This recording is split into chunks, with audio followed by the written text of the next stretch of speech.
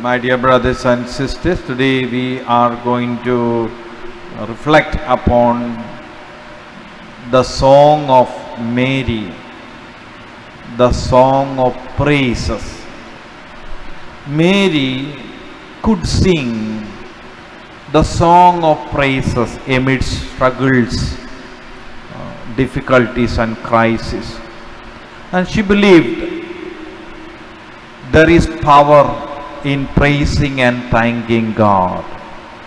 When praising and thanking take place, the power of God fills our hearts and minds. Today's uh, gospel we see the beautiful song of Mary which is called as Magnificat which means Magnificat means magnify magnifying the glory of God.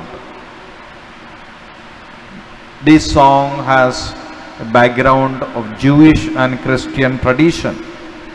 And this Magnificat is about the narrative of the birth of Jesus.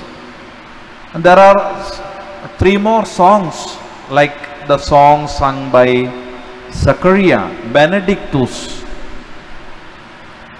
And then again we come across a kind of dialogue between uh, uh, Gabriel and Mary and we call it as Excelsis Deo. Again there is one more song sung by Simon when uh, he uh, met for the first time Jesus in the temple and then he, he sung after joy and the Simon's uh, the song of praise is called Nunc Dimittis.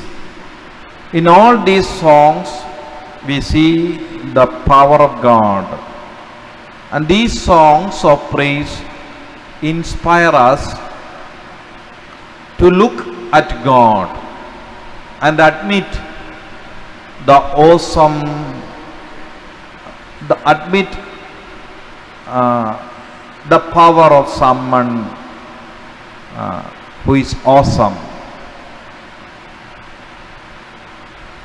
Mary uh, had to struggle or face struggles, especially when she became pregnant while she was betrothed.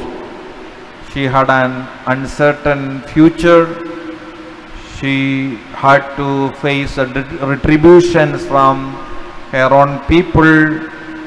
But among amidst all these crises and struggles, she focused on God.